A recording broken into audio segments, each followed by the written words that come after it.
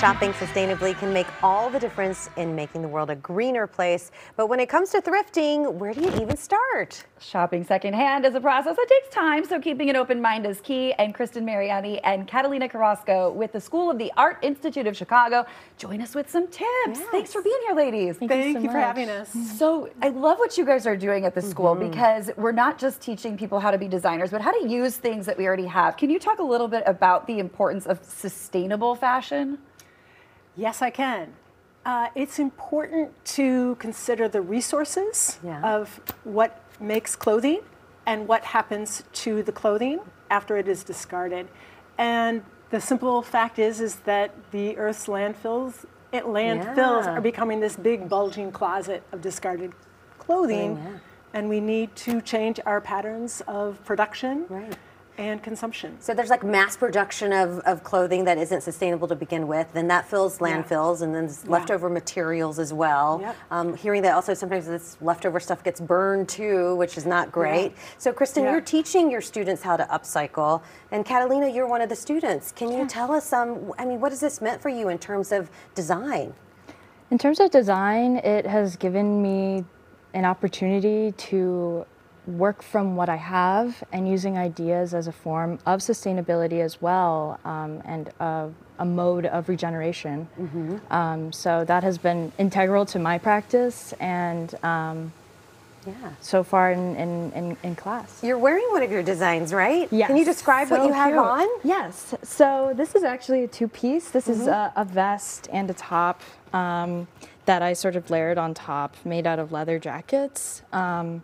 And I've sort of used different modes of stitching and restitching um, pieces together. I did some weaving as well of strips of leather and um, sort of exploring leather as skin Uh-huh. and how uh, the scars and stitches sort of translate into different I can kind of see it. And did you Modes, thrift yeah. this stuff originally yes to upcycle it? yes as an assignment with Kristin um, in her in fashion design one. I take Yeah. all of my Fashion Design 1 students on a field trip Mm-hmm. to a thrift store. My favorite, my lucky thrift store, Village Thrift in Anderson Oh, yes. Oh my that's a- gosh. They, all, Okay, they get a shopping cart, they start going through the aisles and gathering their new raw material. Mm. And then do you bring all of that back and throw it on a table and say, like, here are some ideas or here are some things you can do? Or do you guys already in your head have those ideas rocking? It's very like initial and instinctual and going with your gut when Yeah. you're initially in the thrift store. You can't really plan. So a lot of it is just like touching, mm-hmm. feeling the color. Mm-hmm. Um, and I just instinctually chose leather and um, so, and that's kind of what you have to roll with. And And, Catalina, yeah. how long did this take you to sew and desi- design and sew? Yeah, so uh, I would say, yeah, about like two, three weeks. I would say in terms of like That's fast. generate- That's impressive. Yeah, and in terms of generating ideas, it's it can be fun to work from something that's pre-existing. Um, I find because it's like a puzzle piece. You're rearranging it. And, And Kristin, you say imperfection is okay. I feel like we're all so used to it has to be so straight and we have to have it buttoned up, but No, Yeah. embrace imperfection. Um, go with what you discover in the Mm-hmm. process of taking things apart.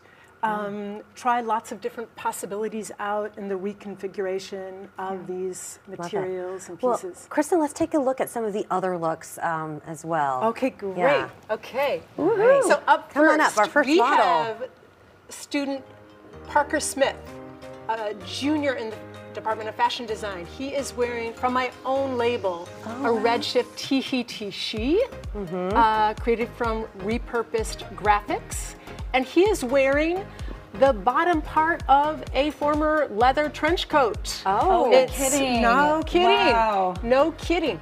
It's modeled in the archetype of a kilt, held together with a safety pin and I was just going to with say the- kilt vibes. I love yeah, it. kilt vibes. Very cool. And you can see the detail of the trench coat with the welt pocket that he's got his hands inside of right Oh, I now. love Very it. cool. All right. Yes. Thank you so much. Let's see the next look. Next up, we have Isaiah Allen, also wearing a piece as a junior in the Department of Fashion Design at the School of the Art Institute.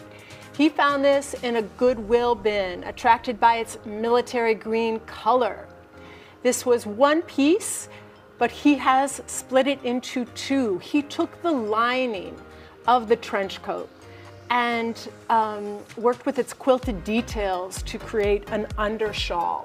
On the back, you'll see this really beautiful print wow. of a poem created by one of um, an artist, one of the first blues recordings, an ode to a father lost in World War One. Oh wow, Wow. beautiful, and of course that gorgeous that goes so well with the army green too. Fabulous. Yes, All right, yes. let's take a look at our And last lastly, look. the trench coat theme continues. We need a red carpet for Raula. Identity Stunning. here. Yes. Raula has taken two trench coats found on one of my field trips. She's taken, uh, she's kind of reconfigured the details, taking the lapel and collar around the neck of a trench coat, using it to create a flange around the bodice. You see all sorts of corseted details in there. She's taken the placket and spun it around her body, and with that fullness, created this beautiful couture like pocket on her right side. Incredible. So gorgeous. Let's bring all the looks back out. Yay. Um, Kristin, Catalina, thank you so much.